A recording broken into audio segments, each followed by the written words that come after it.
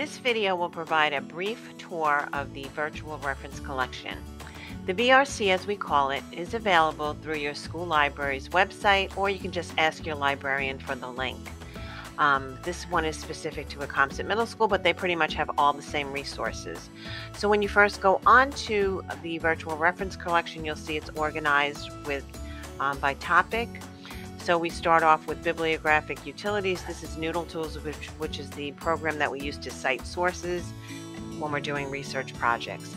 Then we have a section on biography, several resources here, business, careers and jobs, ebook, audiobook, educational periodicals, encyclopedias, health science, history and geography, languages other than English, literature and language, magazines and newspapers, mathematics, music and art, news, pro-con issues. We have a whole reference section.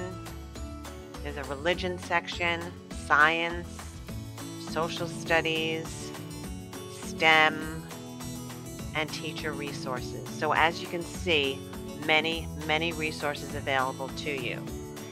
Um, at the top, you'll see that you can also organize this differently. If you want to see the um, databases A to Z, click on that, and it will give you an alphabetic listing of all the databases. Or you can do, you can also sort it by the vendor. I'm going to go back to topic. Another thing you can do is also, right now it's showing you the description, but you can take the description away and it's just going to show you the different categories without the description. And you can do the same thing in the A to Z sorting. Um, any of these will require a password that's unique to your school building. So if I click on one of these, you'll see it's going to ask me for a password and username, and then you can log in. So you can get that login from your school librarian.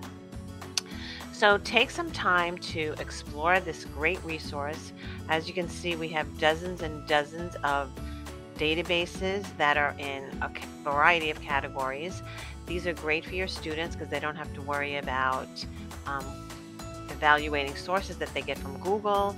They'll know that anything they get from this list is accurate reliable and can be used in their research projects.